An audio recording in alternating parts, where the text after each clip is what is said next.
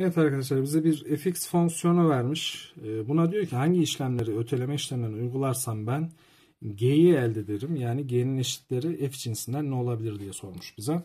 E, Peki beraber bir düşünelim ilk önce. Bakın arkadaşlar e, e, f fonksiyonu sabit bir fonksiyondur. Yani fx eşittir 5 fonksiyonudur. O zaman ben bu fonksiyonu sağa ötelesem de fx eşittir 5 olur. Sola ötelesem de fx eşittir 5 olur. Benim fx fonksiyonunu kullanarak gx'i elde edebilmem için yapabileceğim tek bir işlem vardır.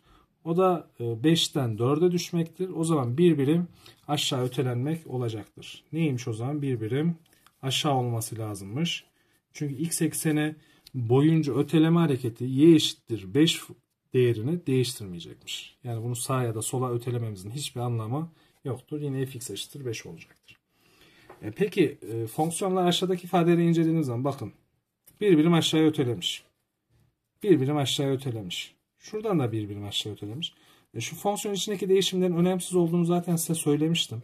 Üçü de bir birim aşağı ötelendiyse her üç ifade de gx fonksiyonu eşit olacaktır.